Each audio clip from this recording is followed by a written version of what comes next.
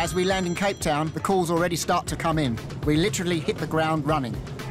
We just got a call from a lady saying that she thinks she may have a cobra that's gone into a guinea pig cage. She's quite scared, um, so I said just watch it from a distance. If it is a Cape Cobra, obviously I'll be very careful. It is a very, very dangerous snake. It's actually the most toxic of African cobras. This will be my first encounter with a Cape Cobra. We don't get them in Durban. I need to be extra careful because I don't know how this snake is going to react to being captured. Not a good story, I hear. That's a guinea pig. I know, the shame. Come inside. Thanks. Thank you. Right, how you Are you still right? watching it? Are you still watching it? Sorry, Oh, no, no, no, you're fine. so No, no, no, no, that's it fine. Absolutely I think you're fine. right. Hi.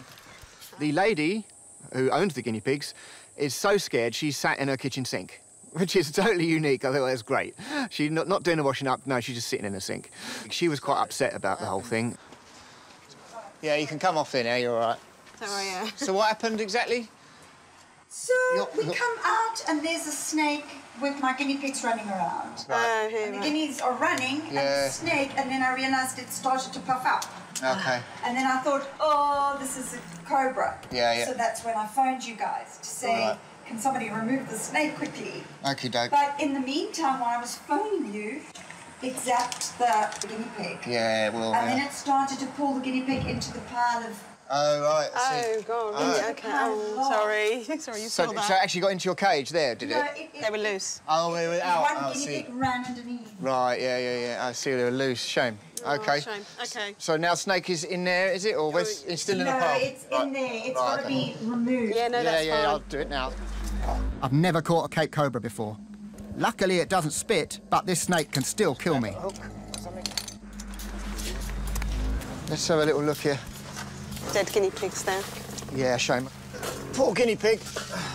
That's an ex guinea pig now. Because of all the commotion that's going on, it unfortunately spat the guinea pig back out. Didn't get to eat his lunch in the end.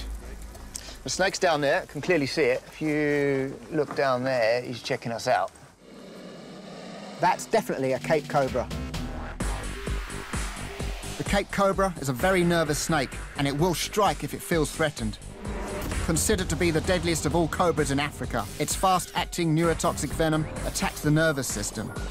If it bites you, you will start to feel drowsy and you have trouble breathing. Untreated, your lungs will collapse and you will die after just 30 minutes.